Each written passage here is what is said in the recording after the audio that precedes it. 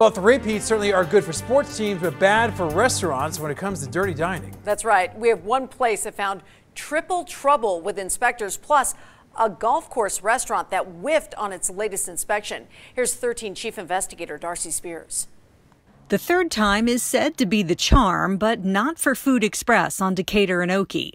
The Chinese restaurant is making its third appearance on Dirty Dining after the Health District shut it down March 15th with 55 demerits and the imminent health hazard of no hot water. We just very much like to make sure we get you guys a chance to answer about these violations and the fact that the Health District says you have a documented history of non-compliant inspections. Food Express was on Dirty Dining last August for rats, and this is the second time it's gotten more than 50 demerits. So there's there's a problem, and we don't want to just take the health district's word for it. We also want your perspective. Employees say they have to call the owner at his other restaurant. At Food Express, inspectors say onion, beans, and fish had to be thrown out due to unsafe temperatures. A food handler was seen eating, then donning a mask to start preparing customer food without hand washing. And ice for customer drinks was stored in a dirty ice well in the sewer station in direct contact with brown mold. They ask us to step outside to speak on the phone with owner Jason He. Your restaurant is not dirty. He says the main issue was their hot water. There was an issue with the hot water, yes, but they also wrote you up for 55 demerits, which is a whole bunch of other violations that include the food and the conditions in the kitchen. Food in the freezer was uncovered and subject to contamination. Inspectors saw a food handler eating directly over open food in the kitchen, and excessive grease had built up between fryers, providing good conditions to attract pests.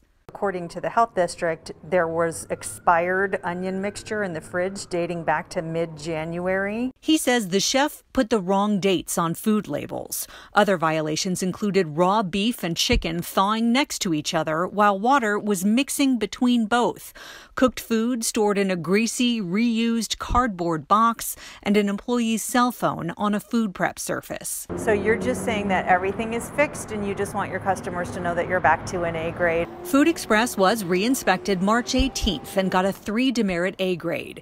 Because of its documented history of non-compliant inspections, it's now in the Health District's administrative process, requiring intervention training and more frequent inspections with little room for error in the near future.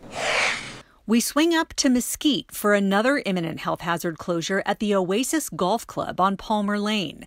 Its grill room restaurant was shut down March 16th for a rat infestation. Inspectors spotted rat droppings throughout the restaurant and in the dry storage area.